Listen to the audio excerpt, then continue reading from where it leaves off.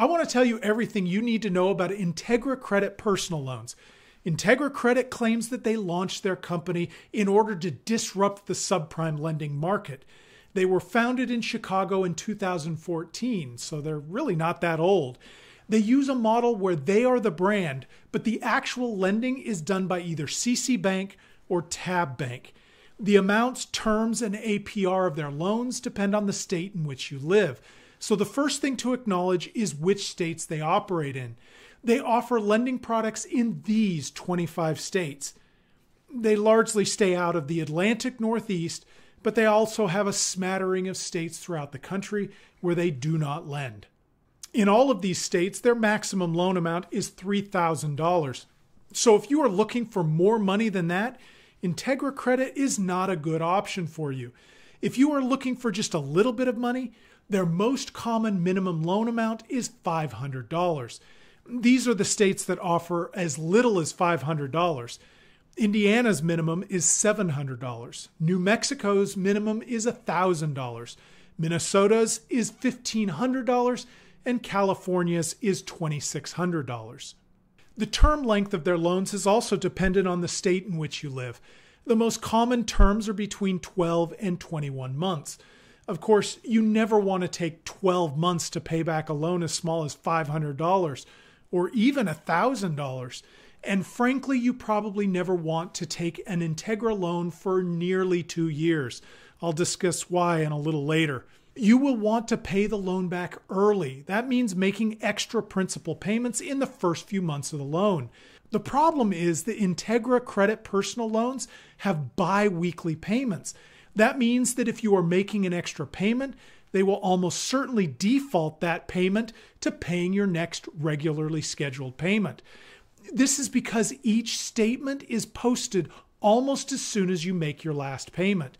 You have to go to the trouble of calling them and making sure that any extra payment that you pay is going towards principal and not just your next payment.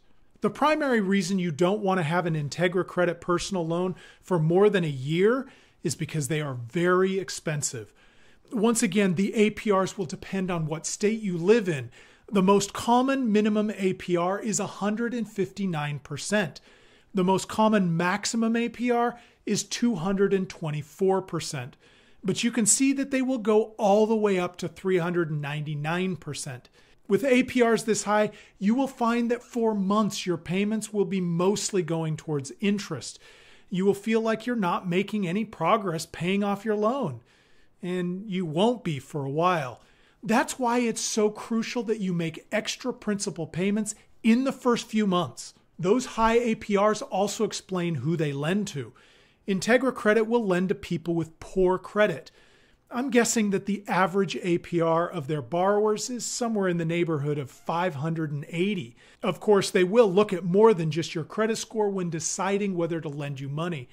They will look at your payment history, your debt to income ratio, the amount and type of your income, and other financial information. It is also not uncommon that they will pre approve you only to deny you when they look more closely at your recent information. Integra Credit will not charge you an origination fee on your loan, but they will charge you late fees. And just like before, the amount of that fee will depend on which state you live in. The most common late fee is $15, which isn't really too bad, but it's really bad luck if you live in Utah, where the late fee is twice that. A lot of lenders who cater to people with poor credit won't charge a late fee at all. I think they figure the high interest rate that will continue to accrue on your late amount is punishment enough.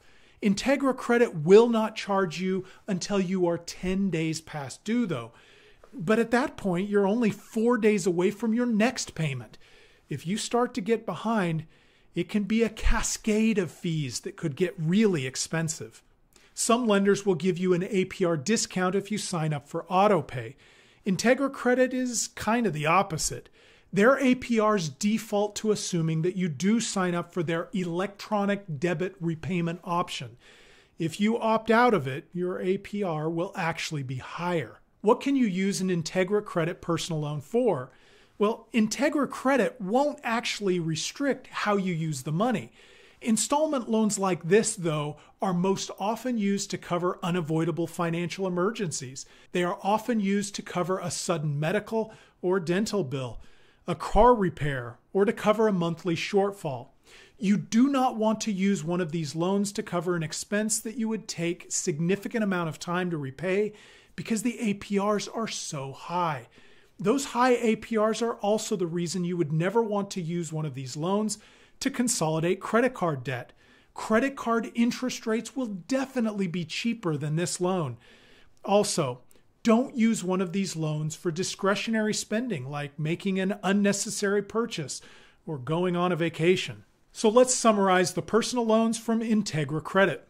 First off, they claim to be disrupting the market for subprime personal loans, but they aren't doing anything anyone else in this space isn't doing and in fact, they fail to offer benefits or features that some of those more established companies do. They generally lend between $500 and $3,000 for terms between 12 and 21 months. But you probably wouldn't want to borrow any more money than you could easily pay back within six months because their APRs are so very high. You will need to make payments every other week. And they do charge a late fee if you fail to make a payment within 10 days of the due date. All in all, I think Integra Credit is a fairly basic lender that charges high APRs and fails to deliver on some of the benefits that other lenders offer. If you have poor credit, need a loan, and have an offer from Integra Credit, you should still shop around before you accept the loan. Lenders in this space all have different lending algorithms. The only way to know for sure whether they would approve you is to apply. At the Yukon Project, we've tried to make shopping around easy. If you go to our marketplace page, you can apply to any one of our featured lenders. Behind the scenes, we will check your rate with up to 40 other lenders. Our partners use a soft credit check, so applying won't hurt your credit. We will present you with all of your approved offers so you can choose the loan that works best for you. If you have experience with Integra Credit, leave a comment below so others can know what to expect. We're trying to build a community of people who can help each other know how to achieve their financial goals. If you found this information useful, please like this video and subscribe to our channel. It helps us out and we really appreciate it. Thanks for watching.